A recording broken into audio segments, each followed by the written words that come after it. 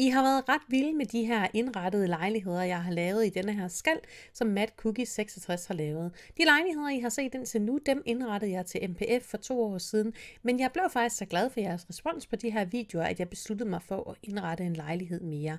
Så kan de nemlig også komme på galleriet. Der er flere af jer, der har spurgt, hvor kan man egentlig downloade de her lejligheder henne.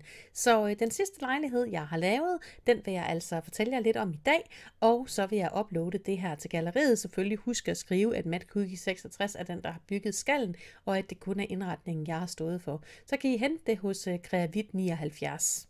På den måde så lærer jeg jo altså også den aller sidste lejlighed stå tom, nemlig anden sal til venstre, og den kan I jo så selv få lov til at indrette. Hvis ikke du har set nogle af de her videoer før, så kan du lige se, hvordan de her lejligheder var, dengang de var tomme. Denne her lejlighed, den har jeg indrettet på sådan en lidt anderledes måde. Som du kan se, så ligger der en masse pynteting og sådan noget derude i øh, gangarealet. Og det er fordi, jeg faktisk denne her gang havde en idé til, hvem der skulle bo derinde. Og så øh, gav jeg mig simpelthen til at søge galleriet igennem efter ting, som jeg kunne bruge til sådan en lejlighed. Det er en øh, kunstner, der bor oppe i denne her lejlighed. Jeg forestiller mig, at det er en mand. Jeg ved faktisk ikke rigtigt, hvorfor jeg forestiller mig, at det er en mand. Det er jo sådan lidt en kliché, hvis man siger, at det er mænd, der roder, fordi altså, det er det jo ikke nødvendigvis. Kvinder, de kan jo rode lige så meget, så i virkeligheden kan det jo sagtens være en kvinde, der bor heroppe. Jeg havde dog tænkt, at det var en øh, mand, dengang jeg lavede lejligheden. Det er øh, sådan en rigtig kunstnertype, som ikke rigtig går så meget op i det der med, hvordan tingene skal se ud, og som øh, lever livet sådan fra dag til dag. Der er måske ikke sådan en fast indtægt her, så man må ligesom tage det, man kan få. Det med at have et køkken, det er derfor heller ikke særlig vigtigt. Altså man kan sagtens klare sig med en mikrobølgeovn og et lille bitte køleskab, og så behøver man faktisk ikke øh, mere køkken end det. Der behøver heller ikke at være spisestue og alle de der sådan fuldstændig traditionelle ting. Her der er man simpelthen gået efter en øh, relativt billig husleje, og så er det ellers bare med at få øh, fyldt alle de ting ind, som man skal bruge til sine kreative projekter.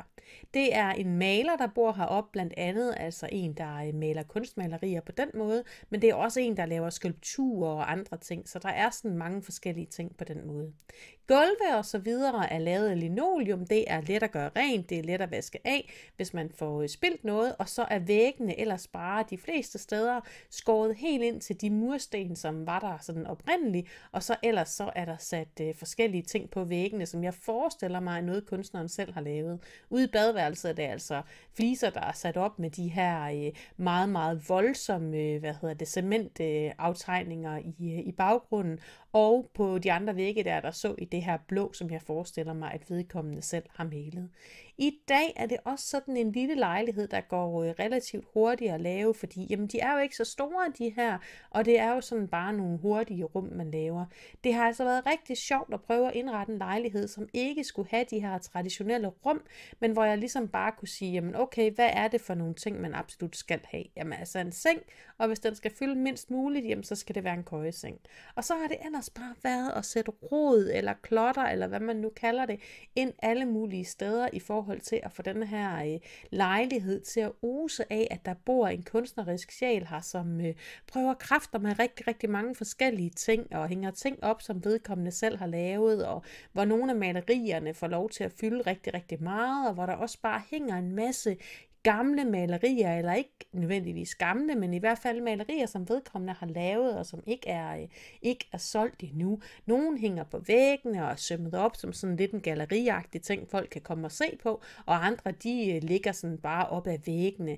Det er også et sted, hvor øh, jamen, der skal være plads til de ting, der skal være plads til, og så er det ikke så vigtigt, om tingene de er, er funktionelle. Så ting de står simpelthen placeret i lag, fordi vedkommende har så utrolig mange ting, som skal være i denne her relativt lille lejlighed. Som I efterhånden kan se, så har vedkommende været med til at lave kulisser til film, og vedkommende har, læser også rigtig, rigtig meget. Det er måske kunstlitteratur, men det er også sådan at afprøve forskellige materialer, så der er både garn og andre hobbyting her, som man kan bruge til øh, de forskellige ting, man, øh, man nu gerne vil lave.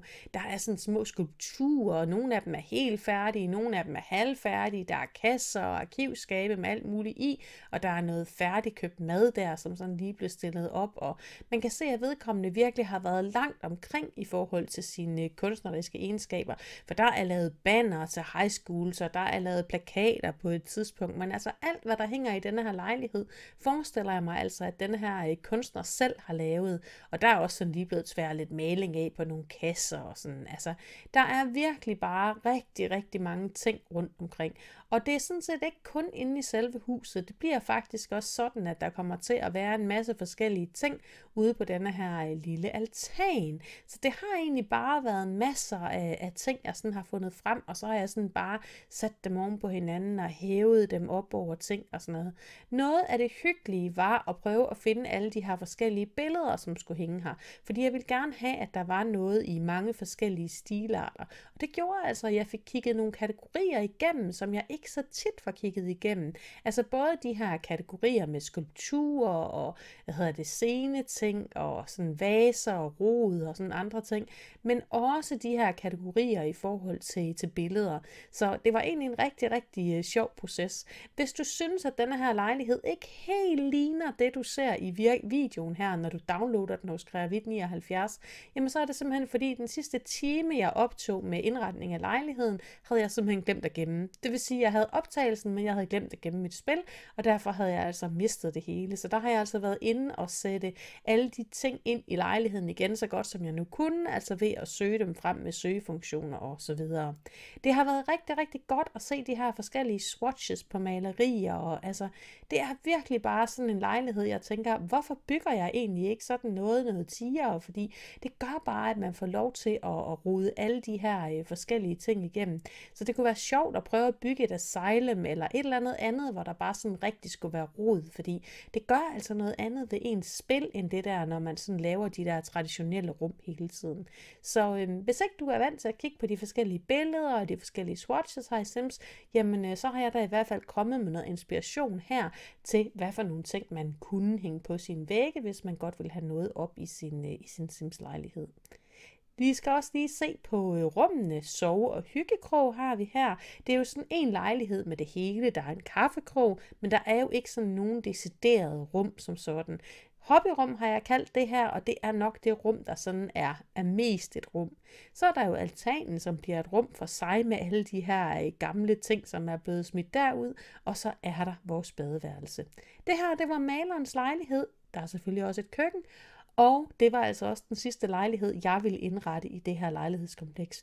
Jeg håber, du har lyst til at øh, downloade det. Mad Cookie 66 har jo altså bygget skallen, og jeg har indrettet de her lejligheder. Måske har du også lyst til at finde andre videoer på min kanal og se dem. Hvis du skal på mit galleri, så er det Kreavit 79. Ha' det rigtig, rigtig godt, til vi ses igen næste gang. Hej hej.